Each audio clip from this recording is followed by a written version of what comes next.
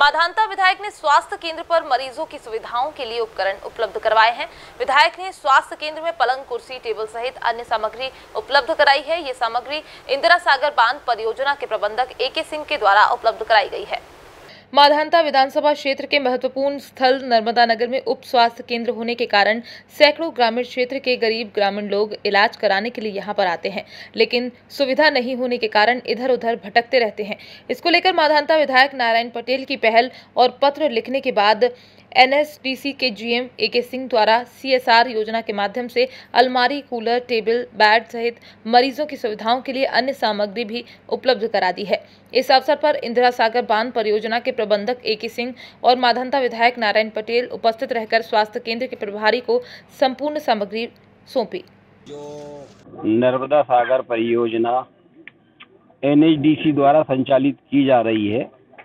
समूची परियोजना में हमारी एनएचडीसी का बहुत बड़ा सहयोग है।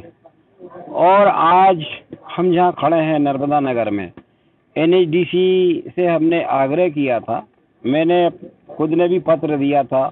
हमारे स्थानीय समस्त जनप्रतिनिधि, हमारे स्थानीय निवासियों की ऐसी मांग रही है कि यहाँ पे एनएचडीसी के सीएसआर मद से स्वास्थ्य विभाग, शिक्षा विभाग, अन्य योजनाओं के तहत यहाँ धन खर्च कर सुविधा मुहैया उपलब्ध कराई जाए।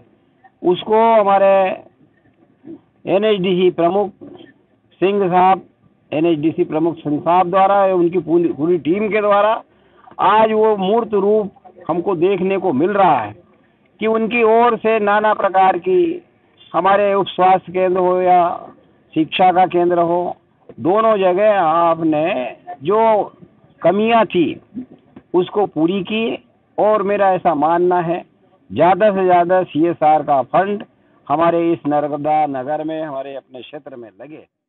जो है हम लोग यहाँ पर स्कूल के लिए और ये उप स्वास्थ्य केंद्र के लिए जो भी सामान था मेरे हिसाब से हमने लगभग इनकी जो रिक्वायरमेंट है लगभग पूरी कर दी है। और इस पर आज माननीय विधायक भी यहाँ पर मौजूद के उसमें पे ये काम आगे बढ़ा है।